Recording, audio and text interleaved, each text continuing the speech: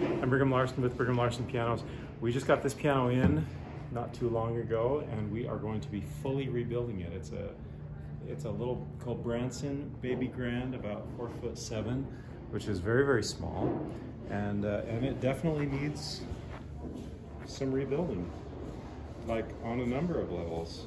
And it's gonna be a full rebuilding. So these are my, these are my favorite rebuilds, your favorite video before and after because it's so dramatic. This piano is in such poor condition right now and it's going to be in such great condition after. It's so fun to see that transformation. It's so satisfying. This is a pretty awesome job. your job? Yeah. You have a good job. You've got a good job. And you get to work with your wife. That's right. so there's the lyre. Uh, it's got, I don't know, something poking out and sticking out. So all of this, we'll, we'll take all of that apart and rebuild all of that. Those pedals will be beautiful. Rebuild all of that kind of stuff. We have it up on this block here because the uh, the leg didn't work anymore. Like it's, it's busted. It's broken off. Oh, it's one of these cool six-leg ones. Yeah, this leg, uh, you can see in the back, that leg is broken as well. It's it's only on one of the two legs, which I don't think that can be too good for it, but it's holding for now. So that'll need to be that'll need to be totally rebuilt. And we're gonna refinish this as well. I should have mentioned that. So cosmetically, this piano's in it's an F. looks like looks like somebody used it as a I don't know what that is. Well, it's kind of coming up. I don't know if that's paint or chalk or what. Yeah, not not in great condition cosmetically. Let's check it out functionally. Uh, already I can feel that's kind of wobbly. I don't know, sometimes this, if this isn't on correctly, it'll slide right off. I think that's okay. Doesn't look like it's gonna slide off. Although I don't have a, uh, a lid prop here. Usually there's a lid prop that goes right there. I hope we have that. And yeah, look at this plate. I mean, everything. It's just it's just filthy and it's ugly. I don't like the texture of that plate. And the soundboard is same thing. It's it's not recognizable that there's wood under that layer of dust. It's so ugly. My hope is I'll have to talk to my plate guy, but uh, I would hope to be able to get that plate to this texture. See if we can do that. How beautiful that is. yeah, check out this plate one more time. It's like, it's like rough. I think he'll be able to, well, I shouldn't speak too soon. He is, he is brilliant, but looks like we've got, we'll need to put a new bridge cap on here. We've got cracks. You, I don't know if you can see that. Yeah, there, that's pretty obvious.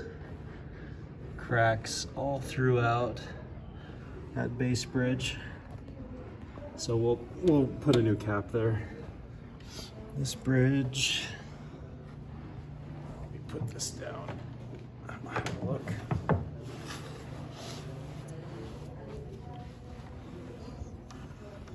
Ooh, all of this is just so ugly.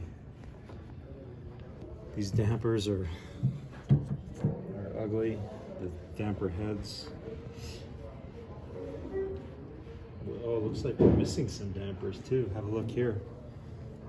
We've got one, two, three holes right there that are supposed to have dampers but don't.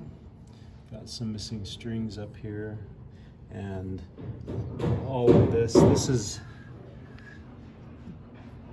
yeah, it's, just ugly. I mean, look at the, years of use. Even these screws are ugly. I can't wait to get my hands on this. This is gonna be such a dramatic turnaround. These tuning pins and the, the strings all, all are, are rusted and corroded and just looking terrible. Look at and look at the hammers down in there and the action. Those old old hammers. They've been just totally worn away. I mean that's that looks like it's decades, literally decades beyond um, useful. Its useful life. They've been worn terribly. Check out these keys. So it looks like these keys have been replaced at one point because I'm guessing this piano probably would have, yeah, certainly. This piano would have had ivory originally. It's from that era. But uh, these are plastic, but but they've been so gashed and worn, and we're, we're gonna redo these. And and anyway, yeah, I'm I'm I'm sure of it now that I look at it even closer. I can tell that it's kind of an amateurish job. It's not a it's not a terrible terrible job. I've seen worse, but stuff like this, you can see the the notch. Well, one the notch isn't perfectly beautifully 90 degrees with a crisp corner, but then it also has this little nub at the end here, and then you've got others without crisp corners and and like this one, if you look straight on at that, the the, the line of this white key. It kind of starts out straight, but then at the end here, it kind of curves in and then it comes around. You know, so those, these notches are not, they're not super professional. They're not up to your standard. They're not up to our standard, for sure. Yeah, and those sharps, I think, just have to be have to be replaced. And of course, the bushings are, are completely terrible. So we're going to replace the hammers, the dampers, the strings, the tuning pins. We'll redo the plate. We'll refinish the soundboard. We'll replace the cap, uh, rebuild the trap work, and I guess, and I'm probably missing a few things. I think we'll, we'll replace the wippens as well. Um, I might be missing a couple of other things, but you get the picture. It's going to be a complete turnaround.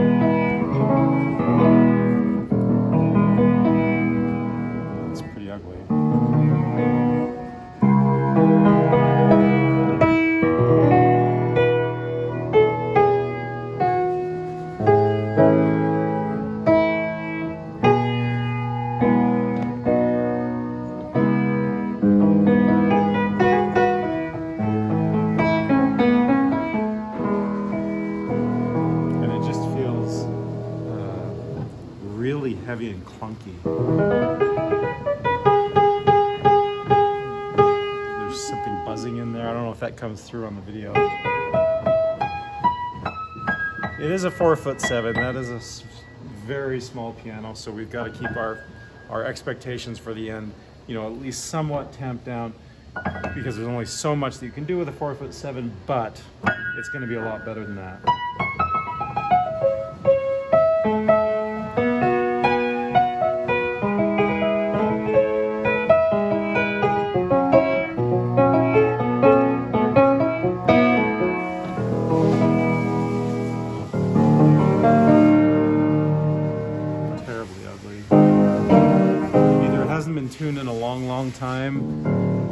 Got tuning loose tuning pin issues, which we will, when we when we repin it, we'll, we'll we torque every single pin as we go and ensure that we've got 100 to 120 pounds of torque. You, you're really that, that there's a lot of safety factor in there. If it's too much torque, these tuning pins will actually break off. They'll shear as you're as you're twisting it if it's you know up up around 200 uh, pounds of torque or more even maybe 180 pounds of torque these pins as you're tuning it they will eventually they'll they'll literally, literally break off and you'll be left with a little stump nub of a tuning pin in the pin block and if it's too little if it gets down to 60 or 80 you're probably still okay you're, you probably still have enough torque that uh, that it will hold hold the, the the string in place.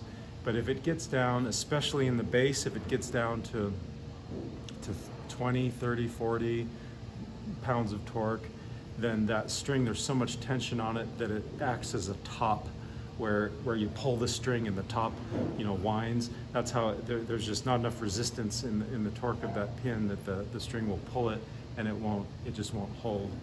So, uh, 100, 100 to 120 pounds of torque is really a good benchmark for uh, ensuring that on the one hand you're not so tight that you risk breaking the pin itself, but you're also far, far from that from that 20 or 30 or so number that, that won't even won't even hold. So we're going to retorque all of those. I'm, I'm, I'm guessing there's probably some of those that are that are a little bit loose maybe. Anyway, kind of a tangent on torque. But uh, this will be a dramatic turnaround. Looking forward to this one.